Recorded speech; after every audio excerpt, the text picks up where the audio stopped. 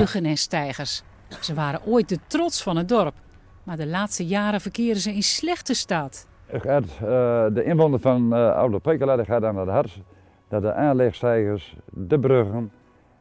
Kortom, samengevat, de teloorgang van Pekela Diep. Gaat de bewoner van Pekela gaat er aan het hart. Verrotte planken, schimmel, een steiger die er nog maar voor de helft staat. De inwoners schamen zich er gewoon voor. Vreselijk om te zijn, oh die barrel de bie ligt.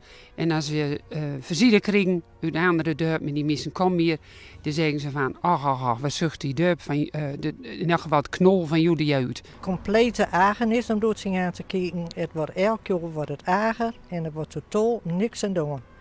Het diep zou het visitekaartje van het dorp moeten zijn. Maar door de slechte staat van de bruggen en steigers is dat nu niet bepaald het geval.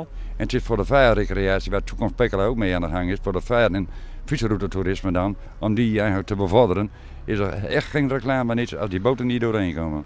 De gemeente Pekela zegt wel iets aan het onderhoud te willen doen, maar er is geen geld voor een grootschalige renovatie.